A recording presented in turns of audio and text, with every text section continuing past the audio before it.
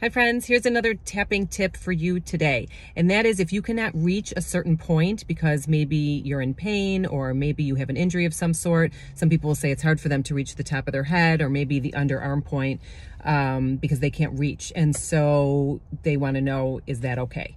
And yes, of course it's okay. Um, you can just skip the point entirely or you can imagine um, tapping the point or you can um, just stay on a different point doesn't matter.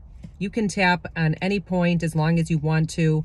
Um, and you absolutely can skip any point you can't reach. Tapping is super forgiving in that you can pretty much do it any way you want to, and it's still going to work for you. You just have to do it.